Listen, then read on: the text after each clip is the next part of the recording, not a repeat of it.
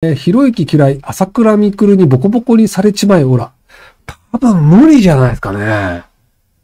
朝倉未来さんが僕をボコボコにしたら、多分社会的に抹殺されちゃうと思うんですよね。要はその格闘技の試合で、格闘家同士でボコボコにしたとしても社会的には許されるんですけど、僕ただの40代のおっさんじゃないですか。格闘経験者が40代のおっさんをボコボコにして病院送りにしたら、多分警察に逮捕されるし、僕も面白いから普通に刑事裁判にしちゃうと思うんですよね。で、刑務所に行くか、まあ、執行猶予だと思うので、そうすると社会的にはなかなか厳しいんじゃないかなと思うので、なので、朝倉未来さんが僕をボコボコにするパターンって多分僕がやってもいいですよって言わない限りは難しいんじゃないかなと思うんですけど。